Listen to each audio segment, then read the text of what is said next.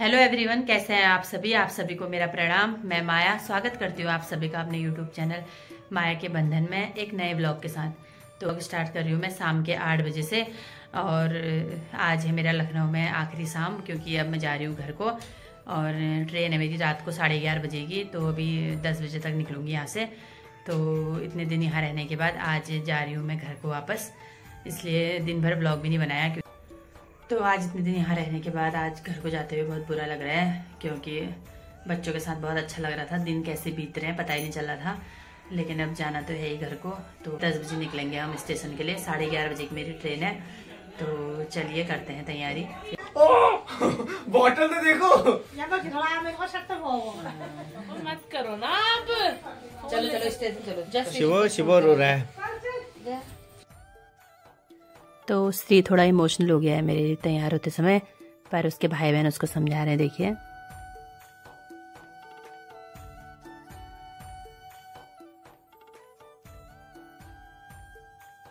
तो फ्रेंड्स मैं रेडी हो गई हूँ स्टेशन जाने के लिए। बच्चे सबने खाना वाना खा लिया है तो अब निकलते हैं स्टेशन के लिए। सबसे मिलके निकलते हैं स्टेशन के लिए।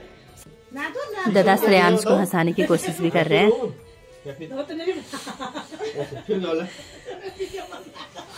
फिर बोला. फिर अच्छा फिर पढ़ने का ऐसे अरे रो रहा है कैसे मेरी याद आ रही फिर उसको.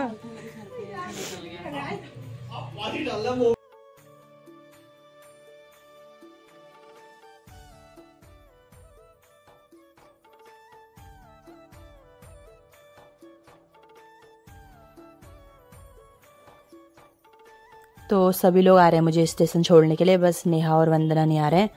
और सभी लोग आ रहे हैं क्योंकि वंदना को भी जाना है अभी तीन बजे सुबह। तो तो दादा बच्चों को ले जा रहे हैं स्कूटी में और हम जाएँगे ऑटो से दीदी और मैं।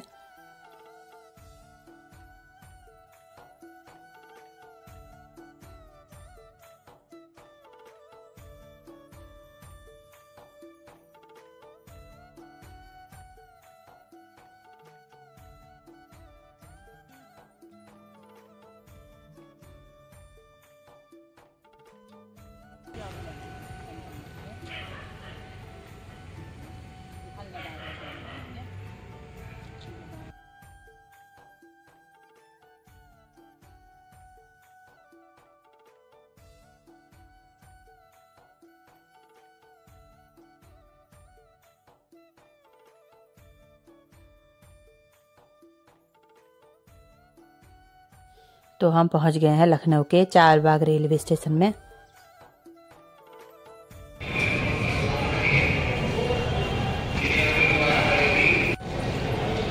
बाय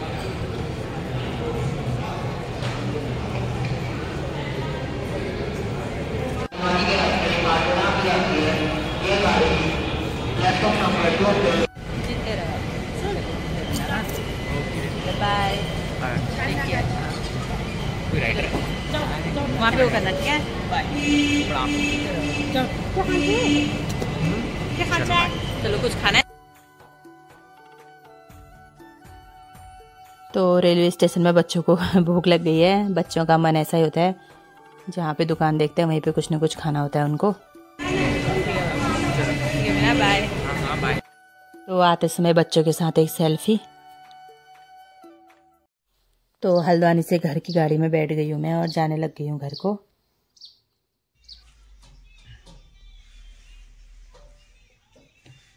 तो फ्रेंड्स पहाड़ पानी पहुँच गए हम लोग। बहुत तो चाय वाय पी लेते हैं यहाँ पर। फिर चलेंगे आगे को। और फिर से पहुँच गई हूँ अपनी देवभूमि में, खूबसूरत पहाड़ों के बीच। देखिए कितना सुंदर नज़ारे हैं। चारों तरफ़ इतने सारे फूल खिले हुए हैं। पिछली बार जाते समय तो बुरास के ही फूल खिले थे पहाड़ों में, लेकिन इस बार बहुत सारे फूल खिले हुए हैं, क्योंकि बसंत ऋतु आने वाली है। तो देखिए कितने खूबसूरत लग रहे हैं नज़ारे।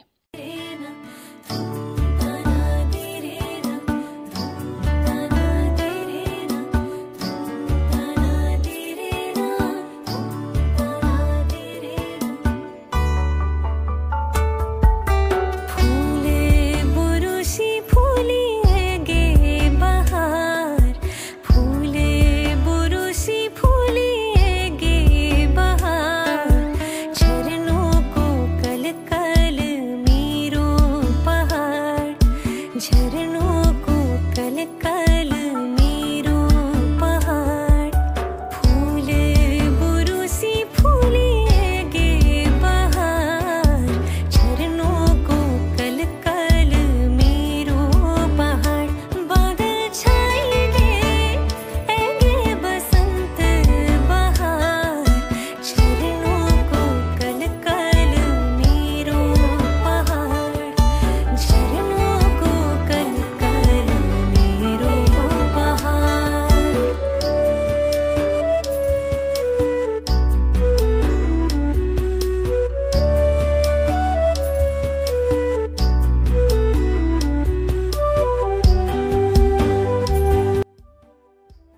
तो अब हम पहुँच गए हैं डोला आश्रम के करीब, जो अल्मोड़ा डिस्ट्रिक्ट के लमगड़ा ब्लॉक में पड़ता है।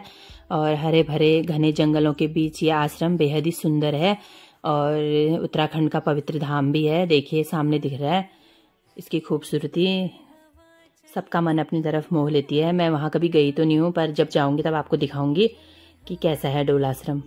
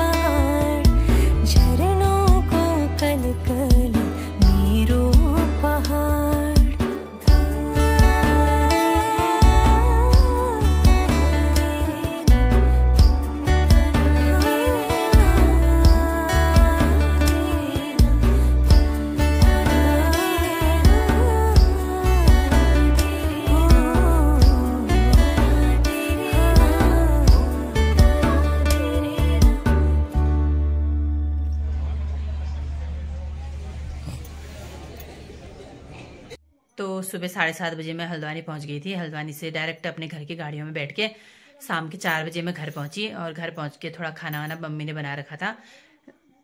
तो मम्मी ने झोली भात बना रखा था तो झोली भात खाया मैंने। सफ़र सफ़र से आके झोली भात बहुत अच्छा लगता है।